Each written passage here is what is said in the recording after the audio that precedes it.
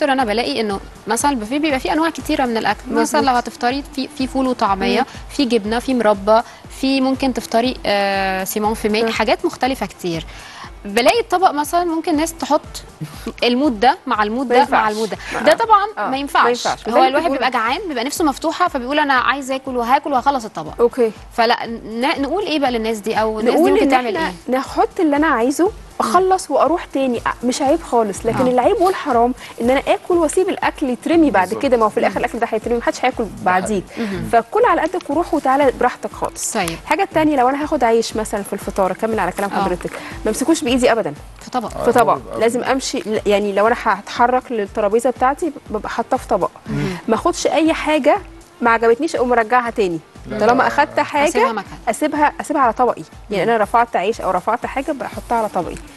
لو رجعت في كلامي ما ارجعش ارجعها تاني. ما امسكش حاجة بإيدي ابدا. طبعا كل طبق. بيبقى فيه serving آه قدامه.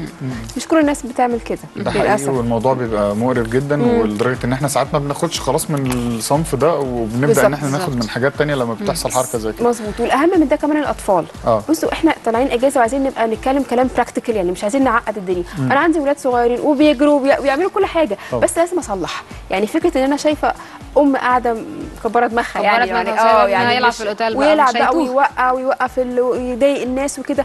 أطفال طبيعي إنها تعمل كده بس أنا لازم أصلح أوجه مرة واثنين وثلاثة. لو لقيت إن ما فيش فايدة ممكن أقوم أنا أقعد في مكان تاني أو أخلص الأكل بسرعة وأمشي. آه. يعني الناس اللي طالعة إجازة دي واخد إجازة من شغلها بالعافية. كلنا عارفين يعني مش طبعا. سهل الواحد وقت كمان وقت ضيق. يعني وقت ضيق. وفي ناس بتحوش طول السنة عشان تطلع السفرية دي. فما اجيش بقى في الوقت بتاعهم ده أضايقهم وأضايق نفسي برضه.